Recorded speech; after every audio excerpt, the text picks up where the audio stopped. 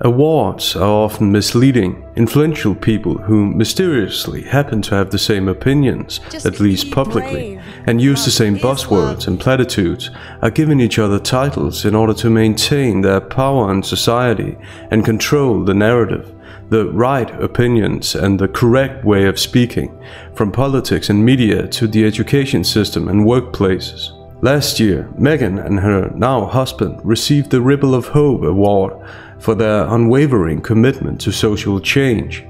Looking at some of the previous winners of this award, Fauci, Kaepernick, Pelosi, and the two presidents, there's no true diversity. They're part of the same popular group, sharing a similar worldview. One of the ways a worldview continues to get favored over other worldviews is via award shows. When someone's uh, awarded, it makes many or most ordinary people think that he or she speaks the truth. Eventually, then, the popular group's opinions are glorified, and opposing views are labeled exclusive, intolerant, or outdated, even though the people in this group constantly repeat how inclusive they are. The group will then have achieved what it set out to achieve power. The nice sounding, carefully chosen words that a lot of people unfortunately still fall for were simply the means to get there. When people know that they're actually exclusive, it's about blaming other people for being exclusive first, so as to avoid the accusation, which isn't only immature thinking, but also classic projection, projection with a career advancing and thus financial incentive. This exclusivity masked as inclusivity is evidenced by all the people with wrong opinions who are getting fired from their jobs, being marginalized in the education system, and cast out of the entertainment industry. In pop culture, the unimpressive ability to regurgitate cliches has replaced true bravery and largely replaced talent and merits. The people in this group like to call each other brave in order to control the narrative of what's to be considered brave. However, there's nothing brave about repeating platitudes and going along with whatever's trending this week. Meghan receives so many awards that she can't always be physically present at the shows to accept them all. Meghan and the person she lives with had to skip the People's Choice Award for the larger Ripple of Hope show. Meghan won the People's Choice Award for her podcast because, without a doubt, that was the people's choice. It was an organic win, no doubt. Meghan said she loved digging deep into meaningful conversation with her diverse and inspiring guests. Firstly, if anybody's been fortunate enough to hear or read a deep and meaningful conversation, please let us all know in the comments. Secondly, just by this short statement, we see why Meghan's so popular within the popular group. She uses the right buzzwords. Today, buzzwords have become code language. Code to join the popular group. Just like back in grade school, only with much bigger consequences for all people. And it was incredibly inspiring, the resounding themes that came up about representation, about inclusion, and about trying to shift the global perspective for all of us as a global community. When a person places buzzwords above content, it shows in their line of thinking, and what they say comes out wrong. And in that, yes, A, so many of the men were lost in the genocide, so it gave women an opportunity to either succumb to that or to then find some strength and then mobilize in a way that was really empowering. And I think that's specifically what they've done, which is a great benchmark for what women all over the world could be doing. Meghan's so caught up in buzzwords that she actually makes this so-called empowerment sound like a good thing, which also shows how out of touch she actually is with the people she's paid to say she advocates for. People in these countries think about survival and structure their lives after this most basic goal. They don't have the luxury to think in terms of empowerment.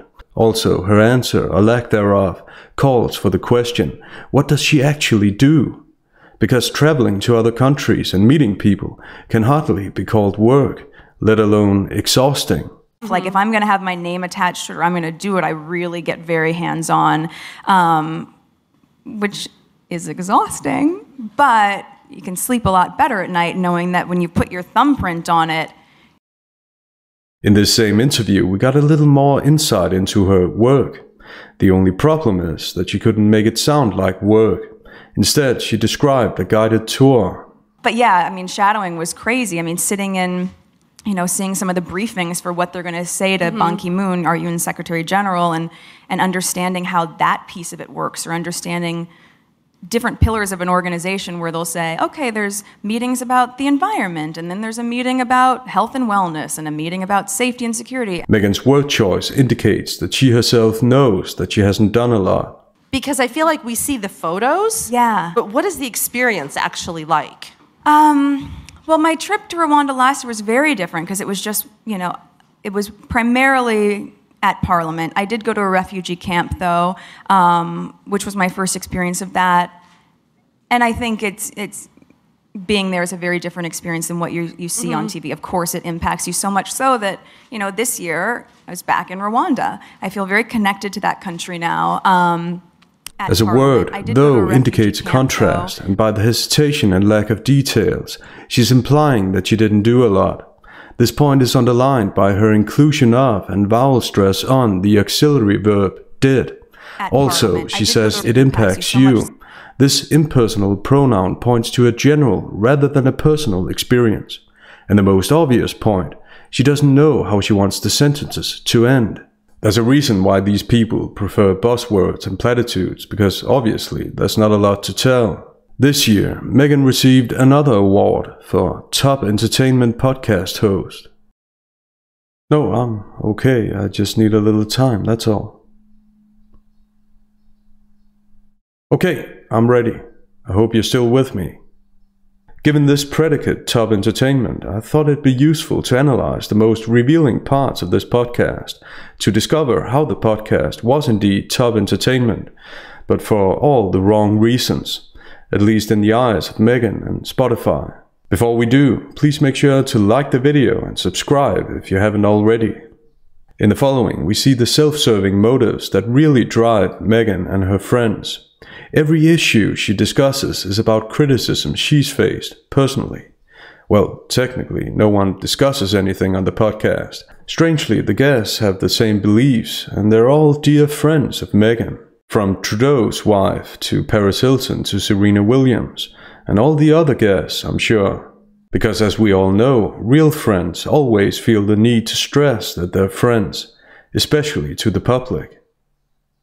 Meghan starts every podcast with this my podcast about the labels and tropes that try to hold women back, living outside the box, the boxes that we try to get pushed inside of, freely expressing our identities, embracing the nuances. What Meghan does here is called constitutive rhetoric. This type of rhetoric is used by politicians to constitute an audience simply by presupposing that there is an audience. No one says that anyone in the demographic she's trying to target feels held back and boxed in. It's something she presupposes, and conveniently enough, she never challenges that presupposition, even though this podcast is supposedly about freeing people, which would therefore include her own presuppositions as well. But of course, we can't have that, because without a victim narrative, there'd be no podcast. Meghan and her prince both hold on to the victim narrative with everything they've got because it's their main source of income. Without the press that they've made a fortune on complaining about, there'd be no Netflix or Spotify deal. The boxes that we try to get pushed inside of, she says. Just like she alleges that she felt boxed in by being ambitious, as she calls it, when she started dating her now husband. Is it as simple as that though? People simply couldn't handle her ambitions. It couldn't be because of the underlying sense of entitlement in her complaints, could it? there was no guidance as well, right? Mm-hmm. Unlike what you see in the movies, there's no class on how to how to cross your legs. How- no, I mean, it's- e- no, but even down. yeah, sorry, but even down to like the national anthem. That's me late at night googling how. What's the national? I've got to learn this. Or staged and overly dramatic scenes with highly unreliable information. and I wasn't seeing it, but it's almost worse when you feel it through the expression of my mom or my friends or them calling me crying, just like, Meg, they're not protecting you. or even using the word ambitious in the context of dating Harry. Freely expressing our identity, she says. She says our to make it sound like she's demanding rights on behalf of the audience she's created, which is in line with the ideological effects of constitutive rhetoric. But what she really means is my, because she's talking about herself. This kind of newspeak is used by people who want to do whatever they want without taking accountability for their actions. It's a way of countering objections so that if anybody dares hold them accountable, they can then say, You're not letting me express my identity, whatever this even means. I have a problem with you. You're not letting me express my identity. I'm sorry if I. See, there you go again, using labels and tropes to try and hold me back. It wasn't my intention. I. Just let me live outside the box, please. Learn to embrace the nuances, like I do.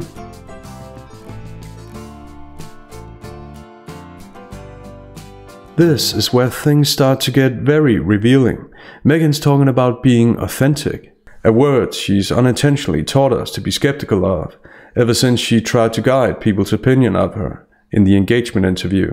Anything I learned about him and his family was what he would share with me, and vice versa. So for hmm. both of us, it was just a really authentic and organic way to get to know each other. An interview she's since criticized, to say the least. In your engagement interview, um, you said- Orchestrated reality show. Yeah. This criticism unintentionally shows us that apparently she's able to fake being happy and admiring, not to mention the things she said about dating Harry. I didn't know much about him, and so the only thing that I had asked her when she said she wanted to set us up was I had one question. I said, Well, is he nice? In my opinion, the thing worth noting here isn't that it's completely unthinkable that this was the only question she asked a friend, but that Harry seems so oblivious to what's going on. He looks flattered, even though what Meghan says, if we imagine it were true, is a devaluation of him. Because being nice is code for being easy to control and being financially well off, but not very exciting. Harry should go on a dating podcast to learn a thing or two. What is your definition of pr- oppression? Um, yeah, I just don't know exactly how to, like, why do you want me to explain that? You're just putting me on the spot. You just want to embarrass me. In light of this, it's projection when Meghan says, I think most people can sniff out inauthenticity.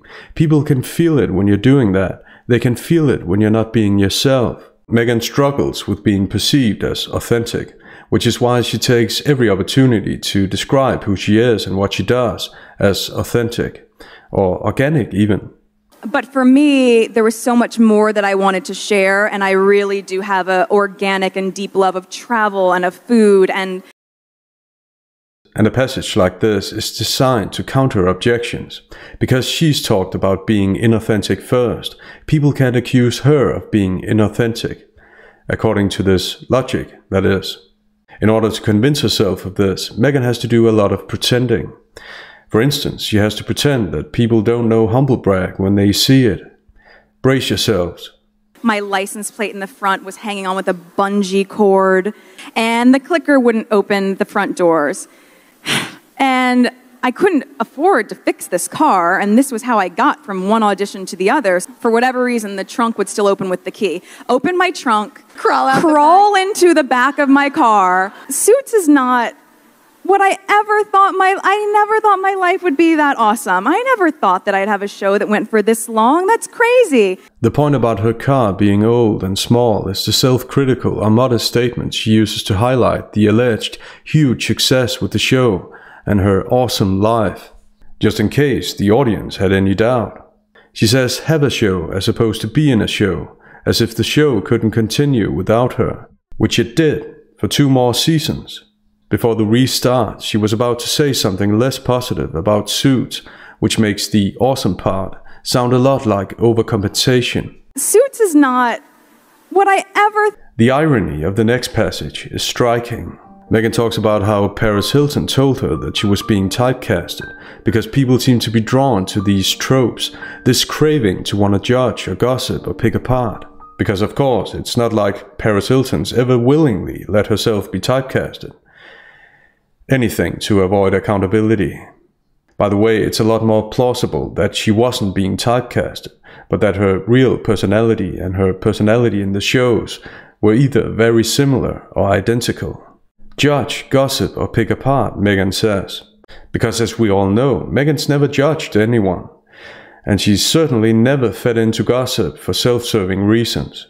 And I don't say that to be disparaging to anyone because I protected that from ever being out in the world. So when you say the reverse happened, explain to us what you mean by that. A few days before the wedding, she was upset about something. It made me cry, and it really hurt my feelings. As a side note, don't judge is a self defeating statement because telling someone not to judge is a judgment. Also, we all make hundreds of judgments each day what to eat, what to watch in television, places to avoid in the cities we live in, etc. Meghan's felt boxed in, allegedly, which is why she invited Paris Hilton in the first place to complain through her. This is the main function of all the guests on this award winning podcast. Meghan complained about not being able to use her intelligence in Deal or No Deal, and we must never doubt her intelligence. That the show only focused on her physical characteristics, which again is an indirect way of saying that she was deemed attractive enough to participate. Finally, this passage teaches us that Meghan isn't a fan of open ended questions She's talking about TV and reality shows and commands a guest to agree with the extremely leading questions like, wouldn't you say that they start to play into the caricature? And they're playing into the type that they've been cast to play, don't you think so? She needs a guest to say yes, because if he doesn't, yes, she actually invited a man on one of her podcasts. The podcast and victim narrative collapse. She would have to actually take accountability, and we can't have that. The next passage is unintentionally funny because it shows a disparity between the ideology Meghan's constantly pushing in order to avoid accountability and her guest's own life experience.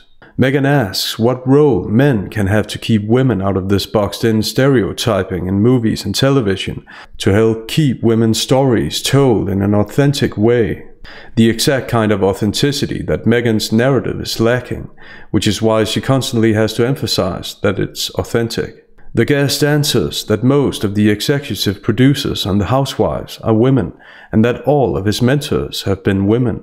Where are the boxes, labels, and tropes? Isn't the demographic that Meghan's paid inordinate amounts of money to say she advocates for allowed to express their identities freely? And that's the point. In reality, Meghan has no real demographic in mind because the very demographic she advocates for is already involved in movies and television, even in many of the movies and shows that she claims box them in, even though they're doing it of their own accord. Unintentionally, then, Meghan's the one placing her demographic in a box, telling them how to think, the exact opposite of what she claims this podcast is about. In the end, we're left with Meghan this podcast is all about damage control. The guests are merely instruments to tell her idealized life story. And in the next passage, she almost makes this point too obvious. Did I say almost? She makes this point too obvious.